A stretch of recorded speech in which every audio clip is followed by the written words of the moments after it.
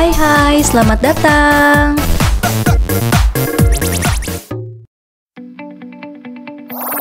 Suga jadi trending di seluruh dunia meski tidak hadiri Mama 2020.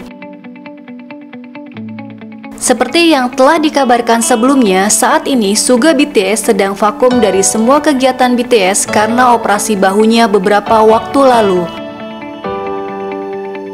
Penampilan BTS tanpa Suga yang terbaru adalah di ajang penghargaan Mnet Asian Music Awards Mama 2020.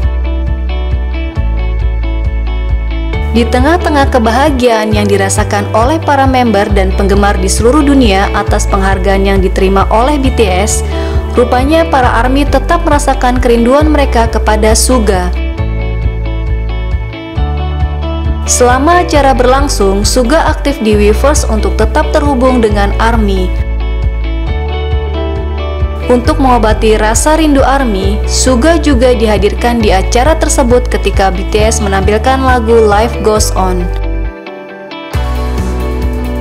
BTS menggunakan teknologi perekam video volumetric untuk bagian Suga sehingga dirinya terlihat seperti benar-benar hadir di sana.